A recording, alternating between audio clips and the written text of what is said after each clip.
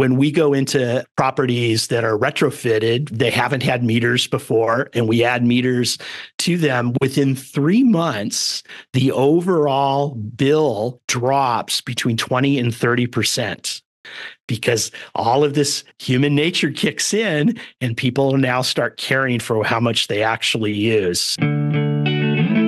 Welcome to the Rental Property Owner and Real Estate Investor Podcast, brought to you by the Rental Property Owners Association, where real estate investors have found success since 1968.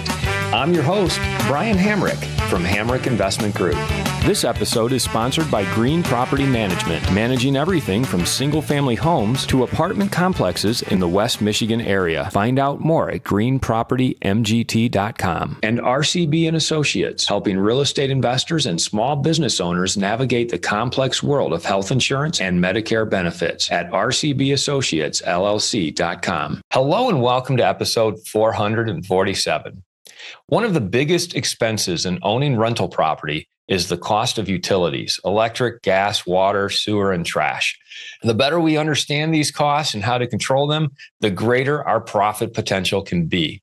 Often tenants are responsible for paying their own utilities, but there are many owners who pay these costs on behalf of the tenants because of the way the systems are split and billed by various providers. Today, we're going to discuss how owners can maximize their return on investment through submetering and utility billing with Kelly Koontz, the president of Submeter Solutions. Kelly, thanks for joining us today. Oh, I'm happy to be here today, Brian. Thank you. Help set the stage for our listeners. I mean, when we talk about submetering and controlling our utility costs, what, what does that mean to you? Like, where should we start in thinking about that idea? Well, Brian, I think you gave it a great lead in. Anybody who is owning or managing a multifamily property is faced with a decision on how they're going to manage one of their most expensive costs and expenses on their P&L, and that's utilities. It's not uncommon probably using, um, say, water and sewer as the best example, but it is certainly not uncommon for a utility to simply have a single meter at the property and they're sending a bill to the property itself rather than individually to residents. So we see that owners, managers of multifamilies have to decide well, am I going to try to cover that cost in my monthly rents? To my residents. Maybe they're a little bit more sophisticated and they've actually instituted a program of splitting that bill from a resident, from the utilities to the residents on a calculation, a mathematical calculation. The industry um, refers to that as a RUBS process, a ratio utility billing system. That's a little better than trying to capture that within just the uh, monthly rental fee. But we have a third option that we think is really the very best, and that is actually metering every unit at the property. That's what submetering is about. We're we're putting a meter on after the utilities meter so we can actually measure exactly how much of that utility is being used by the residents. And then we can then create a bill that is exactly matching what their usage is so, Brian, the advantages of going that third method are number one, you eliminate some of those squabbles of, hey, I, this isn't fair. I'm paying my the waste that my neighbor is using. They're now the residents empowered to only pay for what they actually use. And in addition to that, the, the owner is can be confident that he's going to be able to recover his costs directly and, and accurately. He's not going to undercover and even uh, as importantly, he's not going to overcharge because there's a lot of laws throughout the US that don't allow you to charge more than you should be with those residents. So this is a way for the owner to get those costs from the from their residents and to make sure that they're super accurate. I do want to talk about RUBS because when I started investing in real estate, and I'm here in Grand Rapids, Michigan, a lot of the properties I was buying downtown were historic, built over 100 years ago. The, the meters were not split. There was one meter for five units, or, or in, in one building, I have one meter for 96 units. And so th- that's definitely an issue that presents itself. Now, the philosophy that I started with is not the same as the philosophy I have now. The philosophy that I started with, and I think a lot of rental property owners have, is let's just charge a little higher rent and that will cover our utility costs, the owner's utility costs.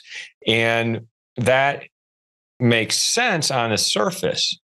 But what I found, and this was a this was kind of a key moment in realizing this and implementing it, what I found is that residents, they know, they're savvy enough to know that utility costs are separate from rent. And when you include them in rent, all they see is a higher rent number. You know, so they don't, they're, they're going to go to somewhere else where maybe they're paying utilities and the rent's a little bit lower, but cumulatively it's a higher amount per month. They're going to go for that before they go for a higher rent at your property. So there's a psychological thing there. You're spot on with that, Brian in addition to just the advantage from marketing your property with a potentially lower initial rent fee, I think to play on that psychological aspect of this is really key. When a resident doesn't see the water or sewer in any way, whether it's RUBS or submetered, they tend to think water's free and when water is free and like you know how we do things when it's free to us we don't conserve it. We're, we're not careful with it.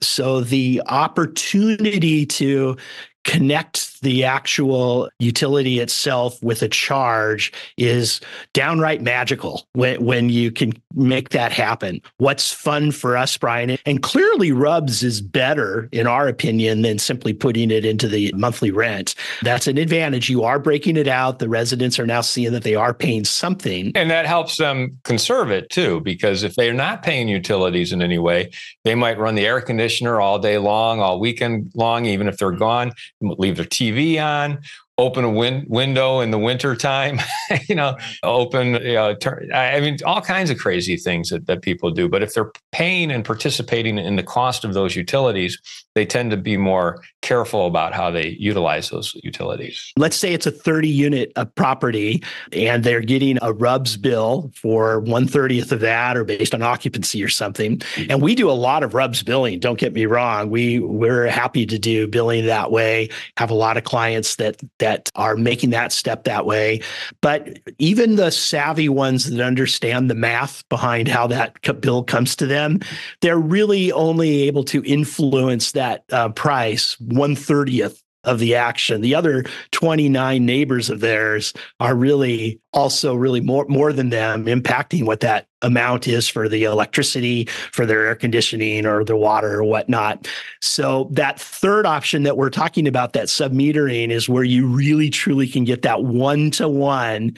Your action is the only thing that's going to influence the cost of my bill. Mm-hmm. And what's fun to tell you about, Brian, is that when we go into properties that are retrofitted, they haven't had meters before, and we add meters to them within three months, the overall bill drops between 20 and 30% because all of this human nature kicks in and people now start caring for how much they actually use. So not only are you offsetting what the owner is paying because the tenants are now paying it, but cumulatively what the tenants are paying compared to what it was three months earlier has dropped by what'd you say 20 30% 20 30% because that's how much more aware they are of the utilities that they're using Exactly right. And that's always fun for us. We get skeptical people go, oh, it probably can't drop that much. And many times it's even more than that. So, and, and, you know, this is good for everyone. It's good for residents who now have control on it. It's good for clearly for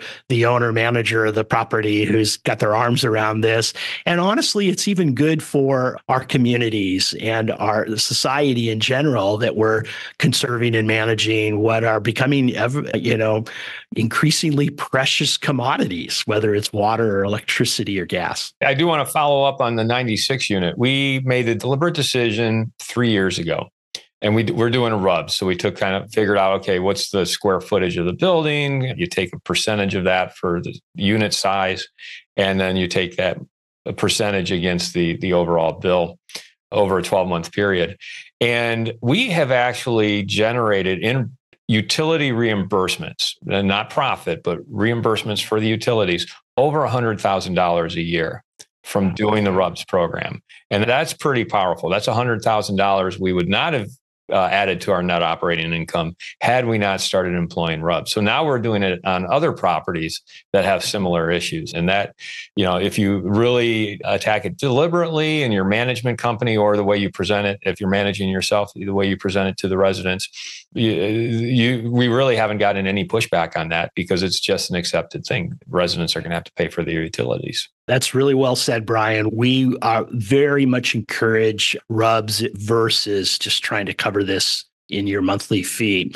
Let's let me maybe presume what most people like may be thinking now though like well okay but that sounds expensive to be going from rubs to the sub metering part. Boy we're talking about adding meters. Tell us what it means in reality to to start sub meter sub metering absolutely. And there there clearly are some upfront costs but we find depending on how you're currently recovering costs that you know the return on investment on this can actually be a year or less depending on how your circumstance is. But it all begins with a water meter, a gas meter, an electric meter. If uh, let's stick with water, since it's probably the most common for most folks, that particular meter that we would sell you is a very accurate utility grade meter in terms of its accuracy, but it's a small, compact one that isn't that expensive. We're not talking about putting it in a pit box underground outside. It's usually installed in the unit. And and the meter and a, uh, an electronic receiver that's going to send that um, signal from the meter read, and we'll talk about that in a minute, together is going to be less than $120 per unit for that hardware. So the for in terms of hardware in every unit, you can use $120. Similarly, if we're talking a gas meter, that's going to be less than $300. And we're talking less than a, on an electric meter, uh, depending on the type, that's going to be less than $400 for the meter itself. I'm thinking of my units and like, am I going to have to rip open walls, get under the floors? I mean, how do I know where to put these meters so that they're reading the usage accurately? And then you mentioned that they're sending an electronic signal. Do they also then have to be connected to AC so that they continue? Uh, so I don't have to keep changing batteries. So we'll start with where, say, a water meter goes. That's usually the biggest question people have. You know, today, newer buildings have been designed and built so that there is a single water line going into each unit with a shutoff valve. And that's where the meter would go, is right after the shutoff valve. But say you have an older building that was built in the 70s or 80s or even earlier than that, and the wall, the, the plumbing shared in the walls back to back most of those properties, though, still have a hot water heater in every unit that is in effect separated the hot water at every unit. So even if you have an older style building that doesn't have a single water supply line, we can still offer you a submetering strategy where you would be metering the hot water. And our studies have shown that if you're measuring hot water for somebody in, through the meter, that's 50 to 60% of the overall water that an apartment typically uses. So it's not perfect because you're not not getting 100%, but you are measuring enough of the water that you could then apply that with an allocation based method. You're going to recover the full costs of your water and sewer. And you are going to do that magic that we talked about earlier of affecting people's behavior because it's based on their hot water use. That requires a little bit of math there to figure out okay, if 50% of is going to hot water, then there's a calculation that's required. But a lot of my properties have boilers in the basement that are providing the hot water throughout the building. What do you do in that case? Those are a little more challenging, but we do have some methods to use to submeter with a um, boiler system.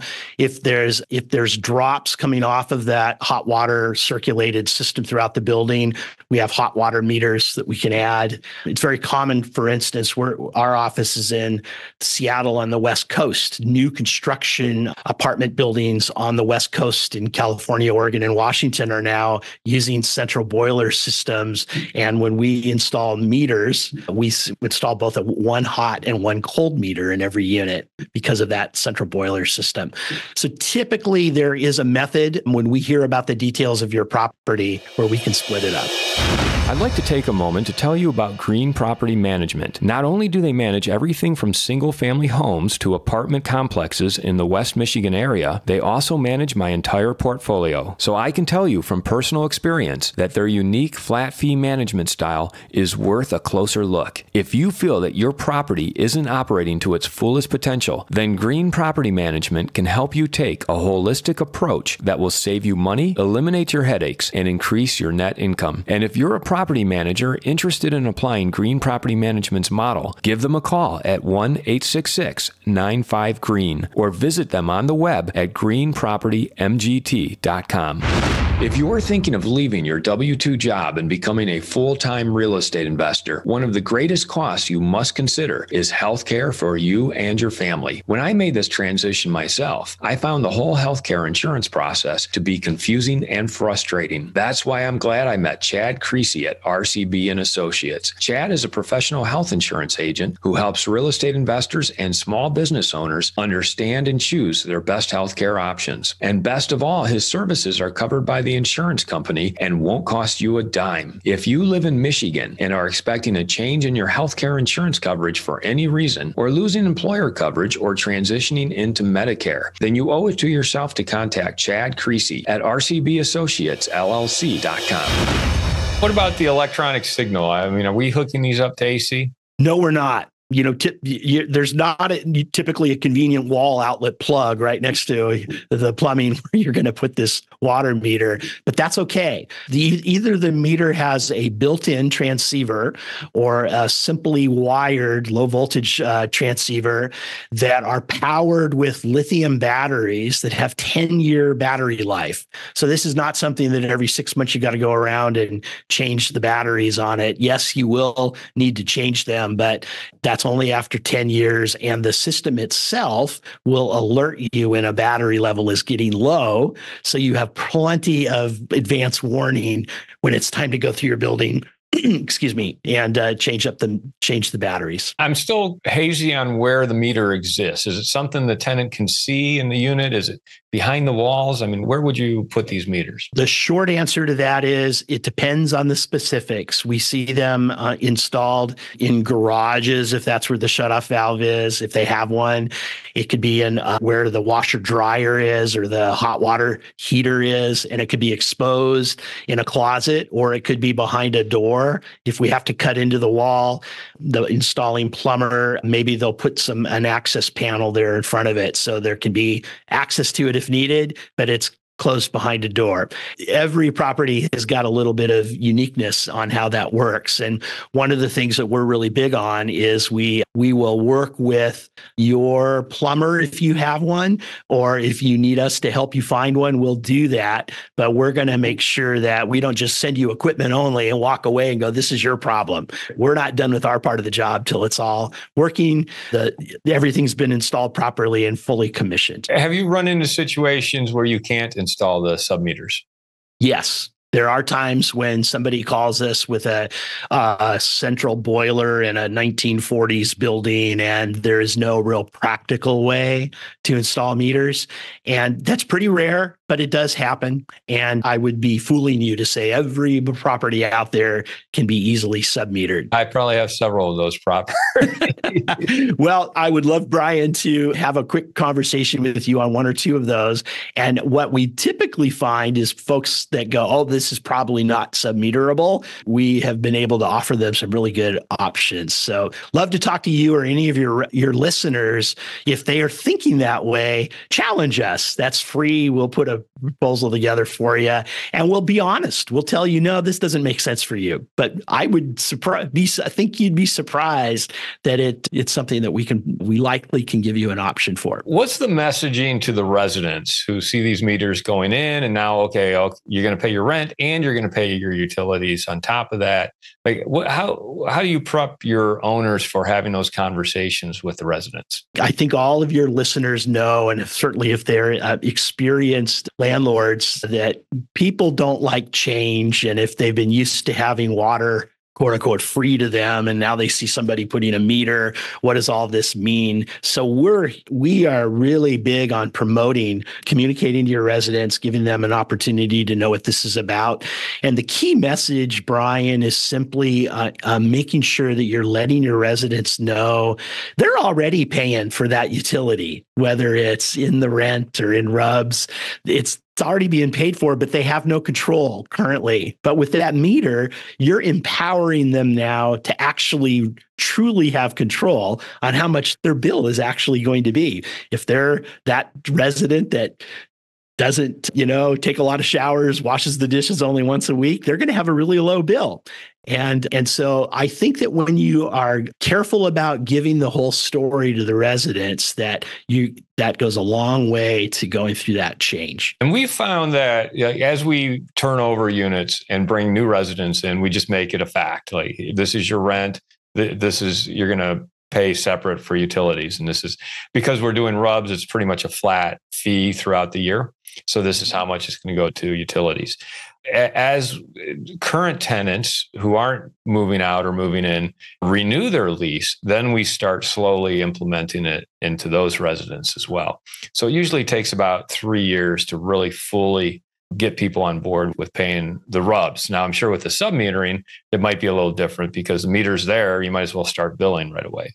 But eh, in which case, what are some of the the laws that might govern that because you can't just say i mean can you just say hey all of a sudden now you got to start paying your utilities yeah, I was just about to bring that up. You know, anything in the landlord tenant relationship, of course, has got a fair amount of codes and laws depending on where you are. And there certainly are some in this uh, realm as well.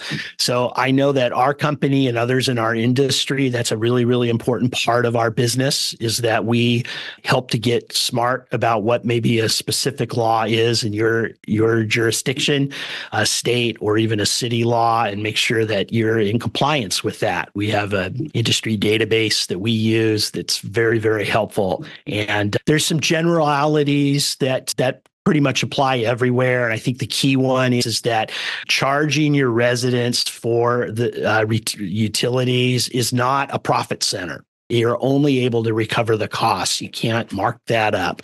And when if and when you get into that area, you're exposing yourself to some legal issues. So, one thing that we're really careful about when we're setting up a new client is to go through with them to make sure that they're getting their leases up to date. If there's some specific language that needs to be written in there, what will help you with that and pass along any specifics that we know about your area. Have you seen owners get in trouble by implementing it too aggressively? We have seen bad actors in our industry. And, you know, we've been talking so far about the hardware part of getting the meters in place. Part two of our business is that ongoing billing process. And many of our clients will do that in house, but many others will choose to have a company like ours actually read those meters remotely and prepare bills and send bills to the residents.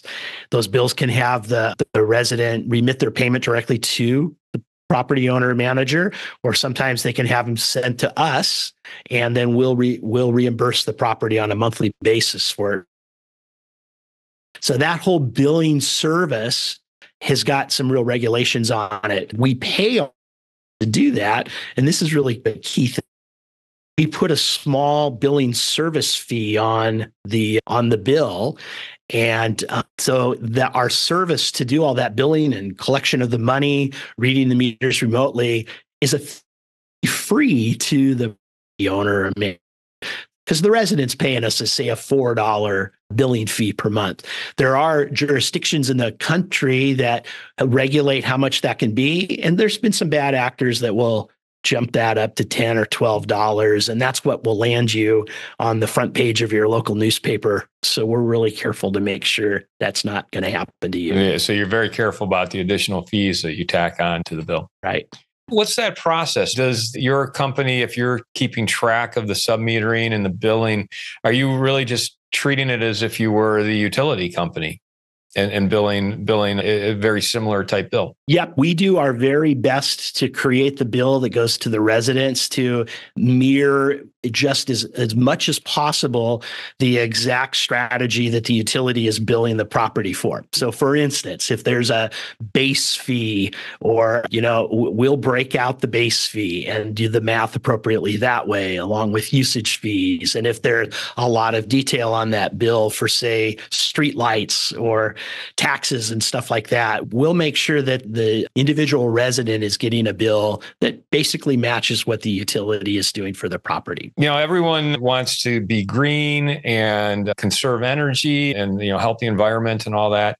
Does submetering allow for that? Like, are there specific things that might help control the cost of energy? To answer that question, I will talk about something we haven't yet broached, which is when we have a meter now on your water line and you have that data essentially connected up to the cloud where that, that's coming on multiple reads a day and daily reads storing. The systems that are out there now have gotten so mature and so smart that they actually have algorithms built into it that can tell whether there's water constantly running. So the best example of that would be that uh, proverbial toilet flapper that's hung open. The chain's got it open, and that water is just running down the drain through the toilet in one of your residents. And you know, today, even if you're rubs or whatever, you may find out about that maybe in about 45 days when the bill comes up and you see, oh my gosh, why is this an extra $200? Which, by the way, is about how much one toilet running is going to cost a month.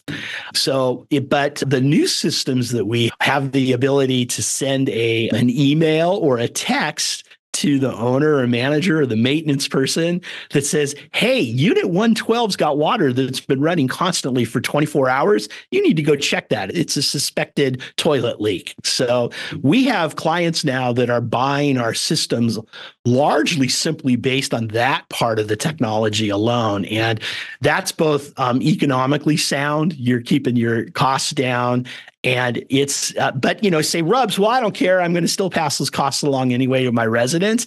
But man, if we can have every toilet leak lowering that that six thousand gallons a month and that two, almost two hundred dollars a month of cost, that's just good for our society. I love that it saves energy. Would also send a text to my son to tell him to flush the toilet. There you go. There you go.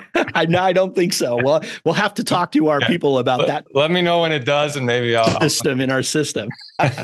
so, what haven't I asked you about submetering that, that I should be uh, asking you before we wrap it up? I would tell you that you've done a good job kind of covering key the key basics. We'd be happy to listen to I think to your specifics. I think you, what we've talked about Brian is there is a little bit of uniqueness for every property. We don't just hold up one water meter and say this is the one that's going to fit in your property. We're going to we're going to say, "Hey, tell us more about what you have. Tell us how the plumbing works or the electricity works.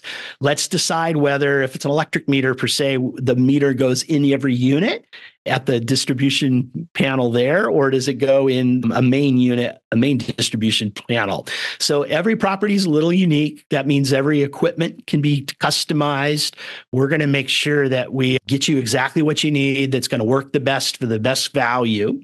And then we're going to present to you that, and you can make the, and we're also going to help you calculate that return on investment based on some basics about how much you're paying now, what your plans are. If if you have us say to do the monthly billing, we'll help you with all those numbers. So that's I think important thing to leave with your listeners. We are based out of Seattle, but we cover you said Michigan and we're all over the country and we'd be happy to talk to your residents, to your owners about your specifics, and then you can make a good decision on your own whether this makes sense or not. Kelly, how would people find out more about Submeter Solutions? Our company name again is Submeter Solutions, and our website, Submeter Solutions with an S at the end.com. You can go there and read all about what we've just discussed. And if you go submetersolutions.com slash podcast, we've got a special page set up there where your listeners can can fill out a little basic questions about their property, and then we will in turn give you guys a call and work up a free estimate for you and send that off to you. And that's a really straightforward process. So we'd love to hear from any of your listeners. And what is your favorite hack or app? I've got my sales manager sitting next to me, so he probably might need to cover his ears. But one of the things I hate to do is calculate my mileage for the business expenses. And I have found a couple years ago Mile IQ on uh, as an app for my phone that keeps track of where I go and how many miles I drive.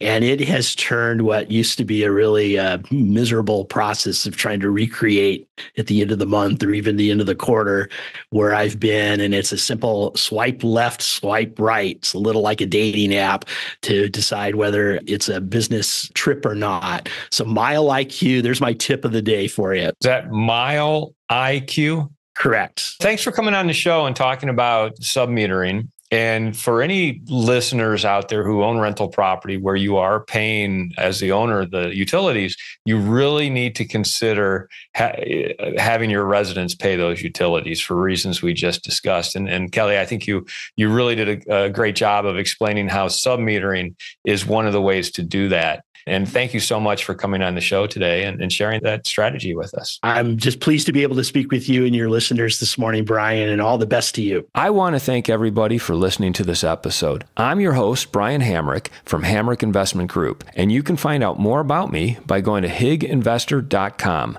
That's H I G investor.com.